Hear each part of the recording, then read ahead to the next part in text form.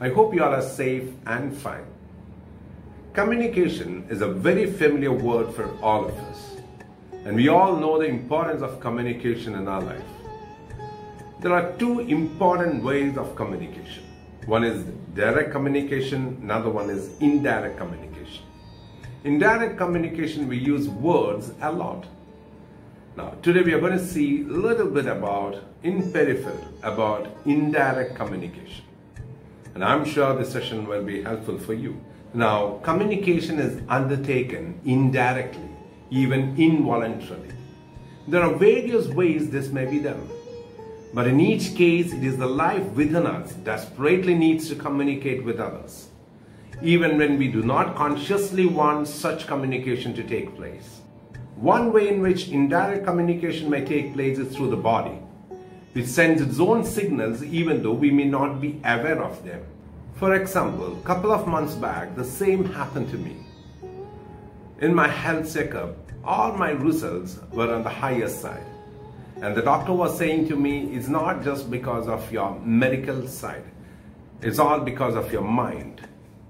Then I done my basic studies in TA, transactional analysis. I realized the truth. The body communication include all the psychogenically induced physical symptoms with which a doctor is familiar. For example, the high blood pressure that turns out to be a result of stress or anxiety the stimulated heart attack that turns out to have no organic basis, and a host of other symptoms from dizziness to headaches that may have no organic basis. Now, body communication also includes so-called body language.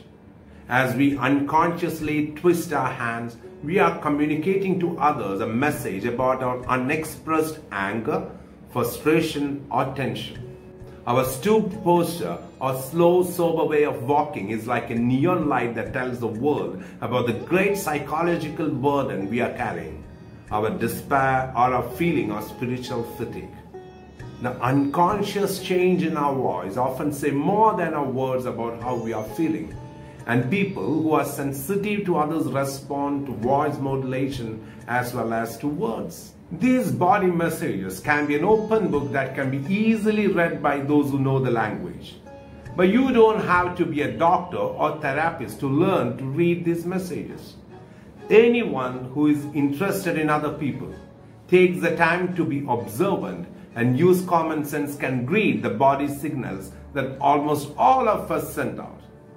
They can tell us a lot for it is as though a person's body wants someone to know what is going on even though the person does not speak up about his inner feelings. Friends, this topic I'm making in two different parts. Now this is the end of part one. And we'll continue another part about the involuntary communication take place through unconscious psychological mechanisms. I hope this session was helpful for you. Thank you, God bless, and stay safe.